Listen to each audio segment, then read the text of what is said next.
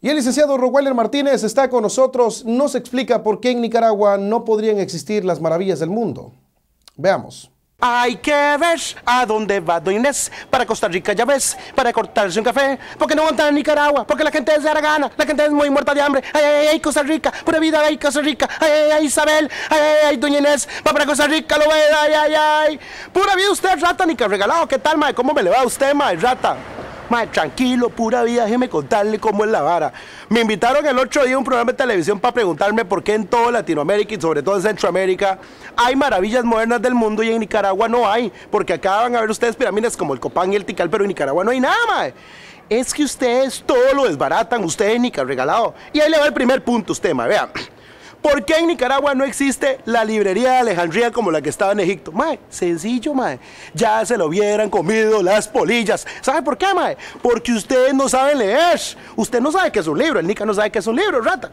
Punto número dos. Si en Nicaragua estuviera el Machu Picchu, mae, ya lo hubieran desbaratado para hacer asentamientos como el montón que hay aquí en Managua, mae.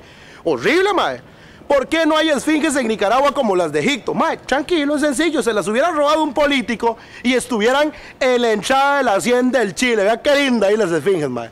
¿Por qué aquí en Nicaragua no existen las pirámides de Egipto? Ahí va.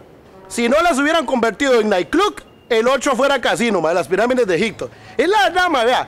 El Gran Cañón, ¿por qué no existe en Nicaragua, mae? Tranquilo, vea, es que no existe usted rata porque ustedes son unos asquerosos, unos gusanos. Ya tuvieran el Gran Cañón lleno, repleto de basura, caballos muertos, llantas quemadas, el montón de gente ahí recogiéndola y comiendo. Mae, si es la verdad usted, rata, no me diga que no, mae. Mae, y el montón de...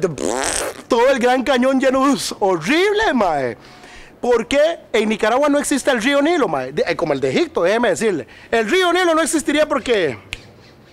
Ni lo tuvieran, mae, el río Nilo, porque ya lo hubiéramos robado. Es la verdad, ustedes no sirven. Son unos holgazanes, ratas, gusanos, hediondos. Todos los nicas no sirven para nada. Por eso ustedes no tienen ni miércoles, ni jueves, ni viernes. Y muéranse. Ojalá le quiten todo el país. Otro huracán feliz les caería bien a ustedes.